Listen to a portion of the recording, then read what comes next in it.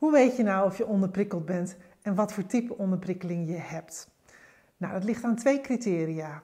Aan de ene kant heb je de hoeveelheid prikkels, de prikkelintensiteit, die in bepaalde mate aanwezig is. Namelijk helemaal geen prikkels, vinden de meeste hoogsensitieve personen alleen maar fijn als ze overprikkeld zijn. Of heel veel verschillende prikkels. En te veel is dan natuurlijk ook niet fijn. En wat zijn dat dan voor prikkels? Nou, aan prikkels moet je denken aan zaken waar je over nadenkt, wat je voor emoties erbij voelt, maar ook je zintuigelijke indrukken.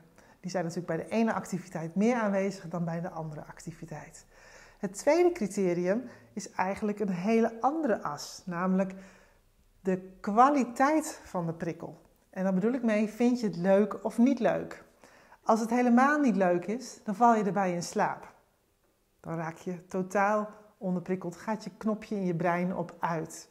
En hoe hoger je scoort, hoe blijer je wordt van de activiteit. Maar ook hoe meer zingeving erin zit. Of hoeveel voldoening je krijgt. Of hoe meer uitdaging iets heeft.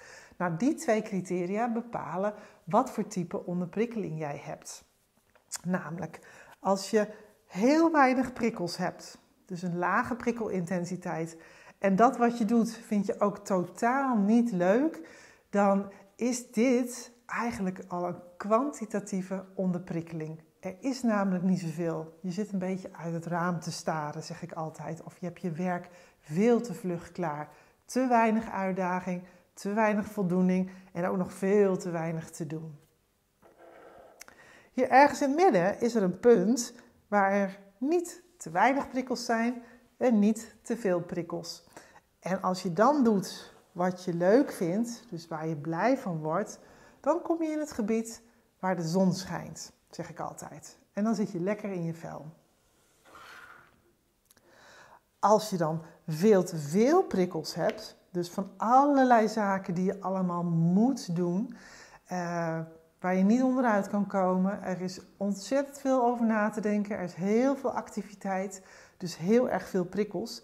En als je dan in dit onderste gebied komt, waar je gewoon niet leuk vindt wat je doet, dan raak je, zeg ik altijd, kwalitatief onderprikkeld. Dan heb je het hartstikke druk, maar dat wat je doet geeft geen voldoening, zingeving, blijheid of uitdaging. Dus dat zijn de moedjes, dat zijn je actielijsten. Dat is uh, uh, het omslagpunt van, uh, nou 20% is misschien nog leuk, maar 80% van de dag vul je met zaken die jou niet voeden. Dus het is mentaal-emotionele ondervoeding en dan ben je kwalitatief onderprikkeld.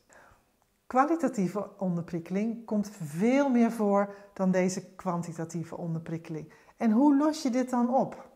Nou, dat gaat als volgt. Zorg eerst dat je stresssysteem ontspant, dus dat het aantal prikkels minder wordt. Net zolang dat je op het punt bent dat je weer zin hebt om dingen te gaan doen. Dat is het eerste teken van herstel. En dan verander je het type prikkels. Dus de prikkels die je leuk vindt, die je uitdaging geven, uh, die je voldoening geven. En dan kom je dus in dat gebied waar de zon schijnt. En hoe los je nou de kwantitatieve onderprikkeling op? Nou, wat je hier te doen hebt, is eerst bouwen aan je conditie, zodat je weer gewend raakt aan meer prikkels om je heen. Dus meer gedachten, meer te doen, meer zintuigelijke prikkels, zodat je, je letterlijk je mentale conditie naast je fysieke conditie weer opbouwt. En dan ga je weer leuke nieuwe dingen doen om daar vervolgens weer goed van te herstellen.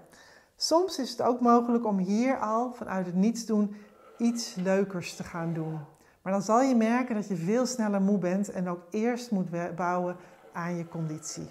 Dus eerst meer prikkels en dan het leuke toevoegen. Ik wens je veel succes.